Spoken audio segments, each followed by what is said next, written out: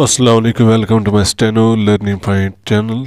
चलिए इसे स्टार्ट करते हैं। हमारा आज का लेक्चर, आज के लेक्चर में हमें है वॉवल्स।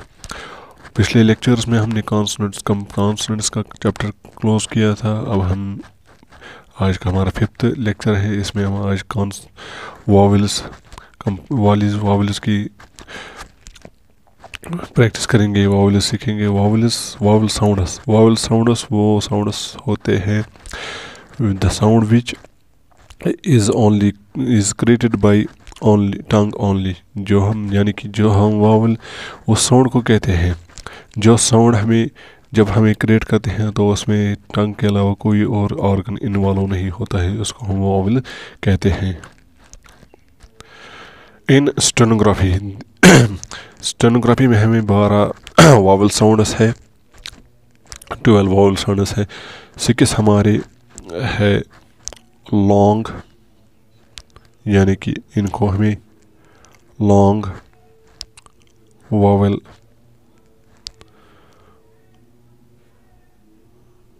साउंडस इनको हम हेवी भी कहते हैं। इनका दूसरा हेवी भी हमें, हम इन्हें याद रखते हैं। ये वो हेवी वावल्स भी है।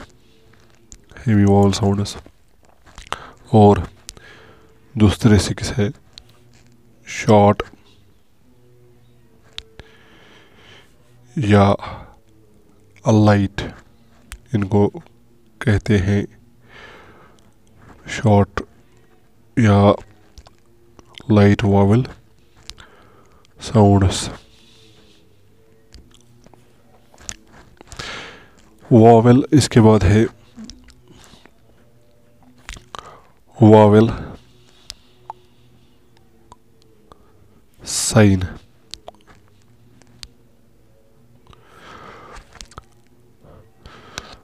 in stenography there are two signs for vowel showing जिसे हम शो वावल कहते हैं यहाँ पर दो हमें एक है हमारा डॉट यानी कि हम डॉट से शो करते हैं वावल एंड दूसरा है हमारा डैश दो ही साइन है जिनसे हम वावल शो करते हैं। इसके बाद है वावल्स में हमारा तीसरा पॉइंट याद रखना है हमें। Vowel place in consonant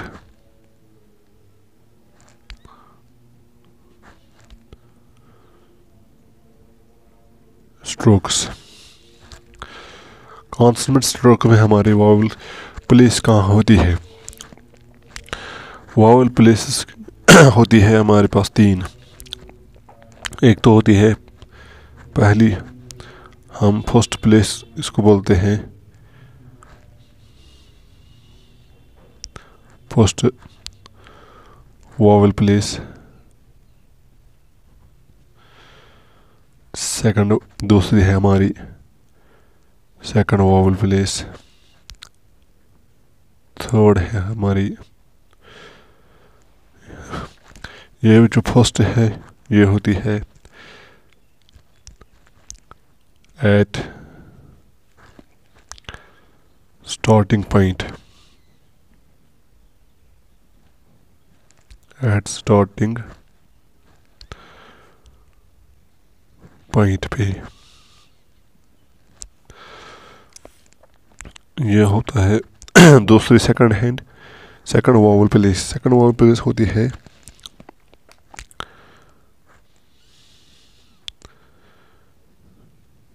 middle या center of a stroke third होती है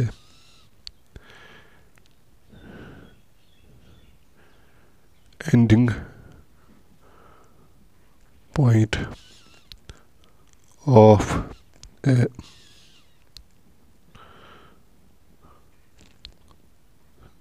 stroke ये होगी हमारी वावल प्लेसेस फ़र्स्ट प्लेस होती है स्टार्टिंग पे सेकंड होती है मिडल पे एंड एंड थर्ड होती है एंडिंग पॉइंट पे। इनको हम बोलते हैं वावल प्लेसेस फॉर एग्जांपल ये हमारा है पब ये है हमारा यस टोडो चर्जर कागा रे वे, ये, ह, हे, फ़ी, वी, थी, दी, सी, जी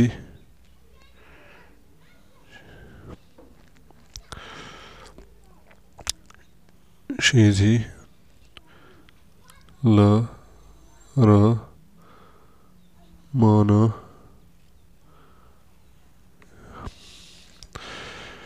ये हो गया हमारे स्टार्टिंग कॉन्सनेंट स्ट्रोक्स इनकी फ़र्स्ट प्लेस है, यहाँ से स्ट्रोक शुरू होता है, ये यहाँ से स्टार्ट शुरू होता है, ये हो गया इसका फ़र्स्ट और ये होगी इसकी थर्ड प्लेस और मिडल में हो गई ये सेकंड प्लेस इसी तरह इसकी यहाँ पे first place second place third place इसकी यहाँ पे है first place second place third place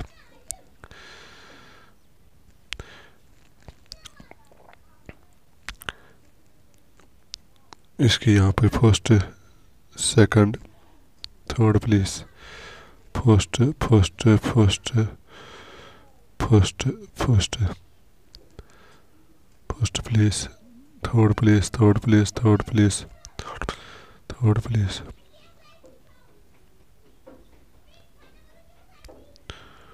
second place second place second place second place ये हो गई इसकी फ़र्स्ट फ़र्स्ट इसकी first first first first first first first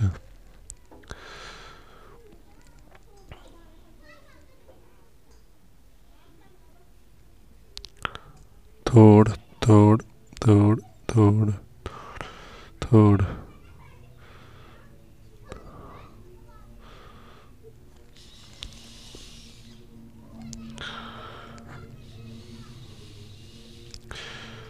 योगी इसकी सेकंड सेकंड सेकंड इसकी सेकंड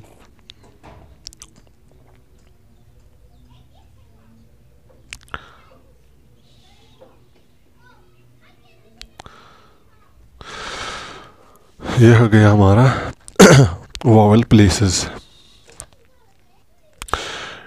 alignment vowels vowels में अलाइनमेंट भी होता है। अलाइनमेंट वावल्स जब हम किसी कॉन्सनेंट पे वावल डालते हैं, जो किसी कॉन्सनेंट पे वावल रखते हैं तो वावल पे डिपेंडेंट हो डिपेंड वो उस वावल पे डिपेंडेंट होता है कि वो उस स्ट्रोक को कहाँ ले जाए, ऊपर लाइन के ऊपर ले जाए या लाइन के नीचे ले जाए, इसको हम अलाइनमेंट कहते हैं। अलाइनमेंट तीन तरीक़ों का होता है, एक तो होता है अबूद लाइन अबूद लाइन वो अलाइनमेंट होता है, जब कोई वावल होता है तो वो इस वावल कॉन्सनेंट को, जिस कॉन्सनेंट पे हम वो वावल डालते हैं, उस कॉन्सनेंट को वो अबूद लाइन ले जाता है। यानी कि हम जैसे लिखते हैं, अगर हम खाली वावल के बगैर कोई कॉन्सनेंट लिखेंगे तो हम ऐसे लिखेंगे, यहाँ पे फॉर एग्ज़ाम्पल ये लिखेंगे हम पी मगर जब हम इसको एबो द लाइन वाला वावल डालेंगे, जो एबल एबो द लाइन इसको ले जाएगा तो हमको इसको, इस वावल कॉन्सनेंट को हमें तब यहाँ पे ऑन द लाइन लाइन पे नहीं लिखना है, बल्कि इसको एबो द लाइन यहाँ पे लिखना है। जितना हमने ऊपर छोड़ा है, उस उतना ही नीचे छोड़ना है अब लाइन तक। ऐसे। इसको हम बोलते हैं एबो द लाइन। इसी तरह अगर टी पे भी आ गए तो यहाँ पे। अगर च पे आ गए तो यहाँ पे। अगर क पे आ गया हॉरिजेंटल पे आ गए तो हमें यहाँ पे लिखना है। ऐसे लिखना है लाइन को। अगर हमें इस हॉरिजेंटल हम ऐसे लिखते हैं? अगर हमारा अप स्ट्रोक हो, जो डाउन ऊपर की तरफ़ जाता है स्ट्रोक जैसे रे है, वे है, ये है, हे है, इन स्ट्रोक्स को जब हम अबो द लाइन लिखें तो इनको वहाँ से जितना हमें नीचे छोड़ना है, उससे, उतना नीचे छोड़ के उससे ऊपर लिखना है, इनको शुरू करना है। जैसे इन जनरल हम लिखते हैं, रे यहाँ से, मगर जब हमें इनको, ये वावल एबो द लाइन वाला वावल आ जाएगा तो हमें इसको यहाँ से स्टार्ट करना है और यहाँ से ही इसको नीचे छोड़ना है, ऐसे। अगर हम वे को लिखेंगे तो हम वे को ऐसे लिखेंगे, या ये को ऐसे लिखेंगे, या ह, हे को ऐसे लिखेंगे। अगर करोड़ करोड़ हो तो करोड़ को भी ऐसे लिखेंगे।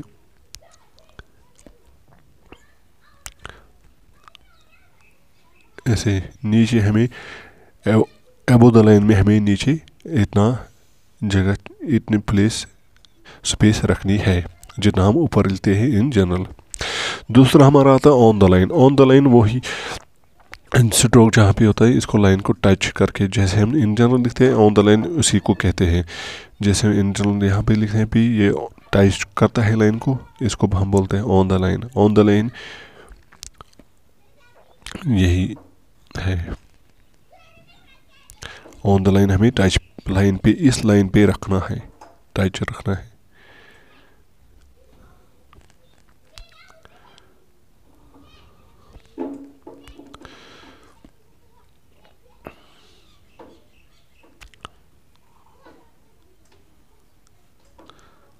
ऐसे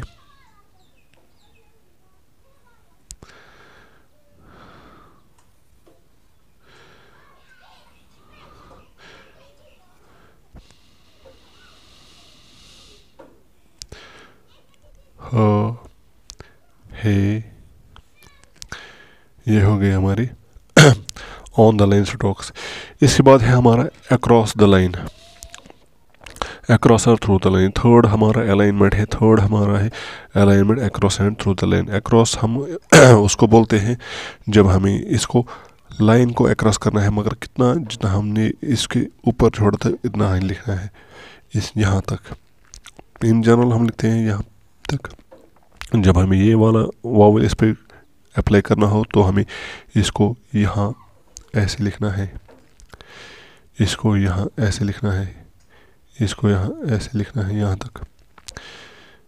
इसको यहाँ ऐसे लिखना है, रे को। ऐसे लिखना है, वे को। ऐसे लिखना है, ये को। ऐसे लिखना है, हे को। ऐसे लिखना है, लो को। ऐसे लिखना है, फ़ी को। ऐसे लिखना है थी को। दी को। श को। रो को जब हमारा हॉरिजॉन्टल इस में हो, आ जाएगा अक्रॉस द लाइन पे तो हमें इसको अक्रॉस नहीं, बल्कि ऑन द लाइन ही लिखना है, जिस तरह हम उसको ऑन द लाइन ही लिखना है अक्रॉस में भी हमें ये याद रखना जो हॉरिजॉन्टल जो होते हैं, उनको हमें नीचे नहीं ले जाना है, जब वो खाली हो।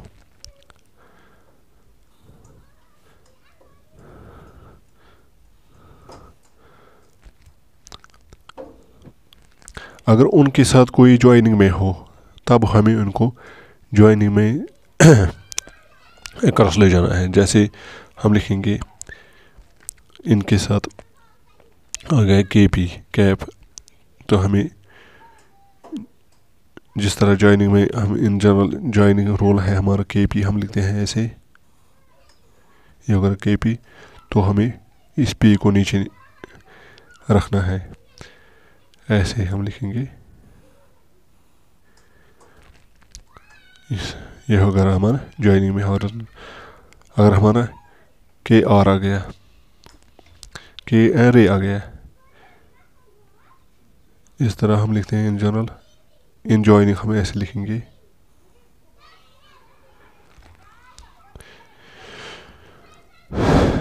अगर हमारा हम इन ये आ गया रे इस तरह हम लिखेंगे।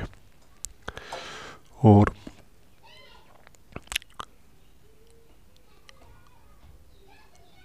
इस तरह हम लिखेंगे डाउन स्ट्रोक ये हो गई हमारी अलाइनमेंट्स